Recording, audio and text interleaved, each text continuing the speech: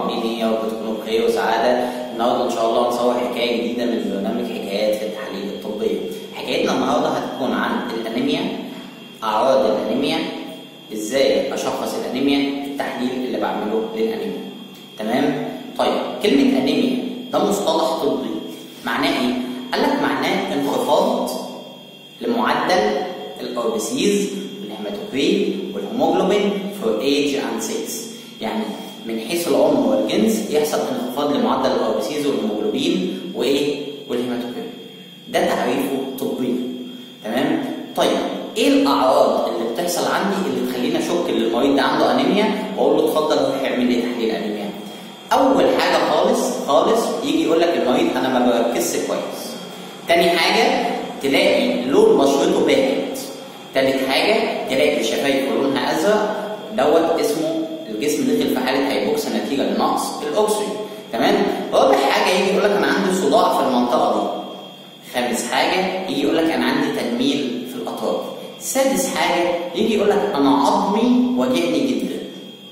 لما يجي المريض يقول لي أي عرضين من الأعراض دول أشك إن هو على طول عنده إيه؟ عنده أنيميا.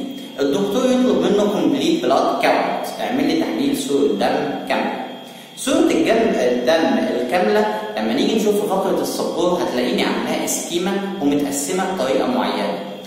مليانة parameters صورة الدم الكاملة؟ آه طبعا. طب في parameter خاصة بتشخيص الانيميات قال لك أيوه. إيه أول ما عيني تروح عليه في ال CBC؟ أبص عليه وأقول لك المريض ده عنده لك أول حاجة طبعا ال RBCs بعد كده الهيموجلوبين بعد كده ال hematocrit بعد كده ال blood indices اللي هم الام سي بي والام سي اتش والام سي اتش سي بعد كده ال RDW سبع parameters مهمين جدا جدا جدا في تشخيص الانيميات تمام؟ يبقى عرفنا إيه هي أعراض الانيميات عرفنا التحليل اللي أنا بعمله عشان أشخص بيه الأنيميا عرفنا ال parameters اللي أنا هبص فيها عشان أقول المريض ده عنده أنيميا ولا ما عندوش أنيميا. طيب إيه أسباب الأنيميا؟ سبب يخلي عندي انيميا التغذيه أنا ما باكلش كويس. أنا ما باكلش كويس ما بتغذاش كويس فده يعمل لي أنيميا. تمام؟ طيب في أسباب ثانية قال لك طبعا في أسباب مهمة جدا. إحنا لما جينا شفنا مراحل تكوين ال RBCs أو مراحل تطور ال RBCs الحكاية كانت إيه؟ الحكاية إن الجسم دخل في hypoxia نقص للأكسجين نتيجة لأسباب كتيرة جدا.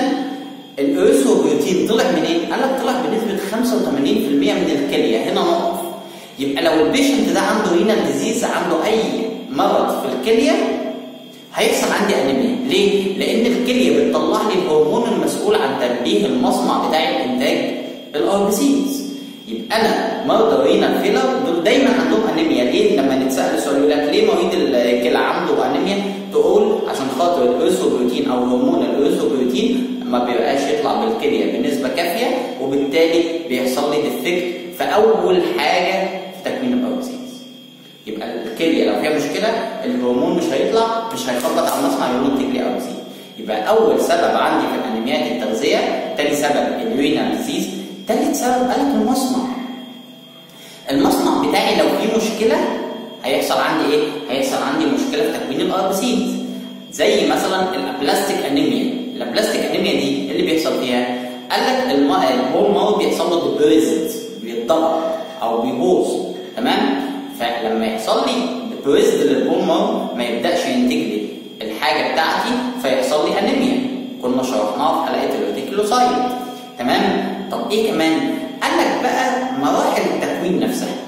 لو أنا عندي نقص في الحديد هيعمل لي انيميا هيعمل لي ال iron deficiency anemia لو أنا عندي مشكلة في ال protoporphyrin هيحصل عندي sideroblastic anemia لو أنا عندي مشكلة في تكوين الجلوبين هيحصل عندي سلاسيميا تمام طيب لو أنا عندي مشكله في ال cell wall إيه اللي هيحصل عندي قال لك هيحصل عندك تكسير لل RBCs زي حاله ال spherocyte لو أنا حصل مشكله في نقص في انزيم جوه الخليه هيحصل عندي تكسير لل RBCs زي ال G6PD اللي بتعمل لي ال favism لو أنا حصل عندي أثناء التكوين إن النواه ما هيش ماشية مع السيتوبلازم فتديني حجم ال RBCs كبير. قال لك ده هيحصل في ال macrocytic anemia زي فيتامين B12 وال folate وهكذا. يبقى أنا عندي أسباب كتيرة جدا لإصابة الجسم بالأنيميا عندي انواع كتيره للانيميات عن عندي تعريف الانيميا دي كانت حلقه النهارده حلقه مبسطه جدا عن اعراض الانيميا وازاي اشخص الانيميا لما نيجي إن شاء الله نشوف فقرة السبوره بتاعتنا. هنشرح الكلام اللي قلناه دوت. هتلاقوا الموضوع بقى بسيط جدا معانا. أتمنى الحلقة تكون مفيدة والحلقة دي لازم تذاكروها كويس قوي لأن كل اللي أنا قلته في الحلقة هيتشرح كل يوم حلقة حلقة وهنشوف الموضوع مع بعض بالتفصيل. لو أنت ما فهمتش الحلقة دي هيبقى في مشكلة في الحلقات الجاية. أتمنى تكون الحلقة مفيدة. كان معاكم كابتن Analysis ما تنساش تعمل like للفيديو وتعمل له share وتعمل subscribe للقناة بتاعتنا. أشوفكم في حلقة جديدة إن شاء الله. bye